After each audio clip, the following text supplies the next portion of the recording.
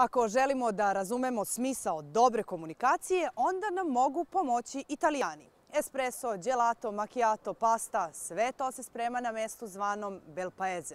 Do njega se stiže devetkom, osmicom, četvorkom ka srcu Novog Sada. Tamo se dočekuju prijatelji u italijanskom kulturnom centru. Za početak dovoljno je znati reći Buongiorno, amici. Italija, kolevka mnogih evropskih kultura, zemlja raskošnih lepota, neodoljivo privlačna putnicima namernicima, sa svim svojim posebnostima i toplim prijateljskim manirima, može se doživeti i tu kod nas. Rekli bismo pod istim krovom, na domak samog centra Novog Sada. Zaživeo pre tri godine, a sa prvobitne Petrovaradinske adrese preseljen 2012 italijanski kulturni centar prepoznatljivog naziva Il Bel Paese ili u prevodu Lepa zemlja smestio se u Novosadskoj ulici Maksima Gorkog. To je Mala Italija u Novom Sadu. Centrom rukovodi Paolo Marcucci de Marino.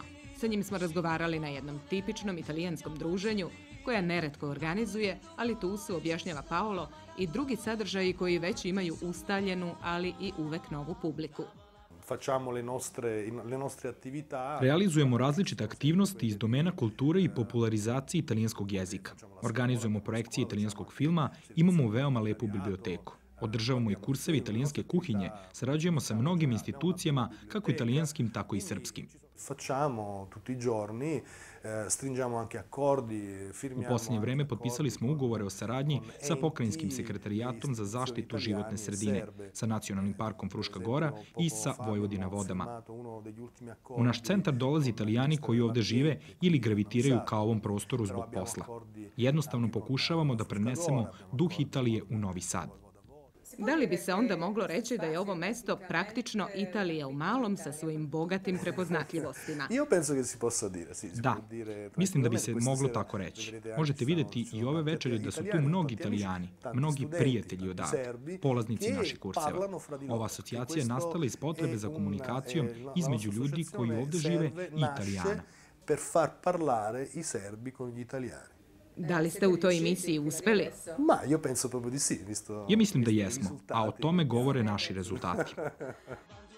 Da je Italijanski kulturni centar najvažniji reprezent italijanske kulture u Vojvodini, svedoči nedavna poseta novog ambasadora Italije u Srbiji, njegove ekscelencije Giuseppe Amanca.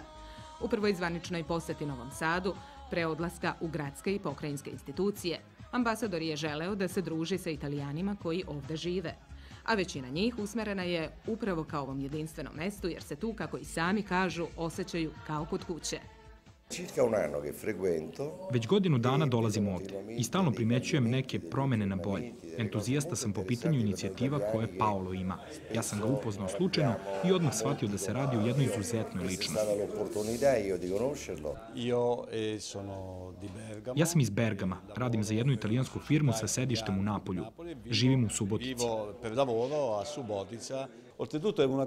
Mogu reći da Italijanski kulturni centar je jedinstveno i lepo mesto u funkciji afirmacije italijanske kulture, ne samo na institucionalnom nivou, nego i na neformalan i neposredan način. Ovde svi dolaze da se druže i to je suština. Ovde je prelepo. Čini mi se kao da sam kod kuće. Tu dolaze mladi koji su odavde. Govorimo italijanski, pomalo i srpski. Gledamo filmove, ima mnogo kulturnih sadržaja. Paolo priprema pastu. Sembra di essere un po' a casa. Paolo fa la pasta. Zbog čega si došao? Čime se baviš? Sono qui... Ovde sam zbog ljubavi. Moja devojka je pronašla posao u Novom Sadu. Ona je francuskinja. Primetila sam još na samom ulazku da su svi pričali italijanski i da su u krugu čak i ljudi koji su šetali svoje pse pričali na italijanskom, a kad sam ušla zaista me oduševilo. Od hrane, slika, nekog ambijenta, da, zaista liči na Italiju, malo mi lepo je videti da Novi Sad ima neke takve sadržaje u svakom slučaju.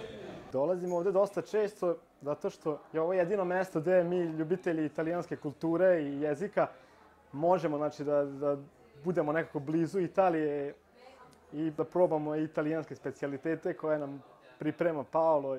Pošto sam ovde jako dobro došao prvog dana i to je obostrana jedan i osjećaj i u formalnom smislu, ali i onome podsvesnom kad se čovek jel, oseti.